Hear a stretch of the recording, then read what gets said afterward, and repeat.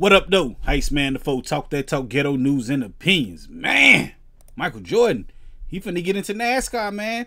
Um, he finna work with the boy Jussie Smollett. Oh, that's not Jussie Smollett.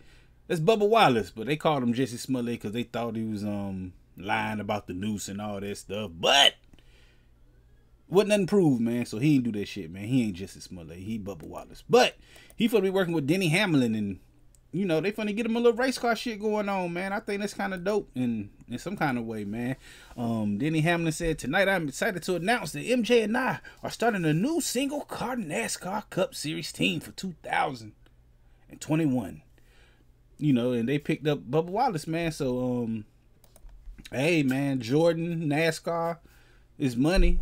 It's, it's money in it, man. Like I don't know, I don't know no black race car drivers, man. Not that many of them, man. I remember um a movie back in the days with um Richard Pryor played Wendell Scott, Wendell Scott. So that's about it, man. I ain't really got no news on this, man. I just had to chime in on it, man, and salute Michael Jordan and Denny Hamlin for um making a, a black race car team.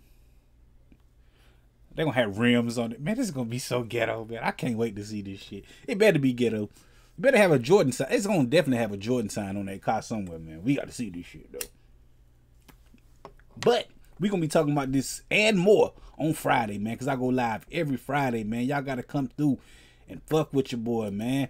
Um, every Friday at 9 p.m. on this channel right here, we go live, man. Hit the like button, the comment button, subscribe button, all them good buttons you gotta hit to fuck with your boy Heist, man, and get this paper that I'm putting out when I put it out. And fuck with your boy. Heist Man the Foe. Talk that talk. Ghetto news and opinions. Peace.